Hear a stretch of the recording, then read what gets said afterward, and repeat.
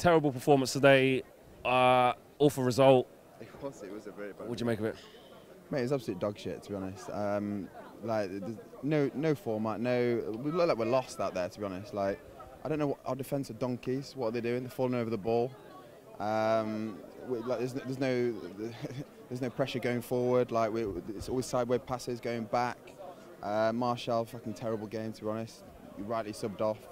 Like, I, I just don't think Mourinho knows what he's doing to be honest. Mm, I was going to say, would you put that uh, if you was looking at like, like issuing some blame, or look- would you blame the players for that performance because they just weren't good enough? The tactics, the way the players were set out. Where, where would you start to dissect that? I think it's a bit of everything, to be honest. I think like Mourinho's not got much of a system, but also the players are to blame as well, right? They're, they're on the pitch at the end of the day. I've got the the uh, Lingard Lingard there. I don't know how you managed to do it. Celebration.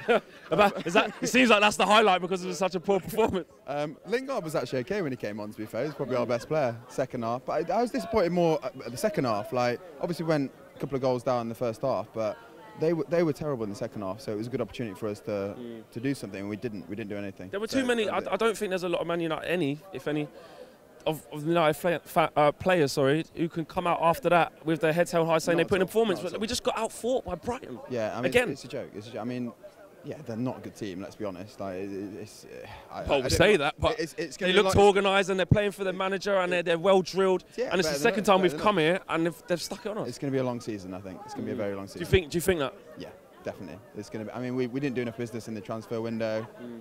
Yeah, yeah. Why do you think that was? Do you think? What do you think is going on between the board and Mourinho? I know he's come out and tried to raise the spirits the last couple of weeks. The Pogba thing, he's, he's quieting that down. But what do you think's really going on? How do you see that whole situation? Well, I think Ed, Ed Woodward didn't really do the business. Like we were linked with a few players that we could have brought in that, that hasn't really transpired, which is really unfortunate because as you've seen today, we actually need a lot of reinforcements. To be fair, um, yeah, I, I, I don't I, I, I don't know what went on behind the scenes, but mm. maybe it was the, the deals. I mean, we need to spend money at the end of the day. Like other, other clubs have, have spent a bit of cash, and you know Liverpool have strengthened. City are obviously they beat us by a, a massive de- points deficit last season.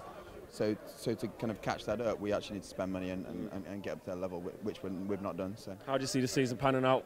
yeah, not not not a good outlook for United, I don't think. Yeah. Um, Listen, I said you look like Jamie Redknapp earlier. yeah. I'm going to stick by that. I don't really like Jamie Redknapp, but I like you. Listen, thank you for talking to us. Thank you. Mate.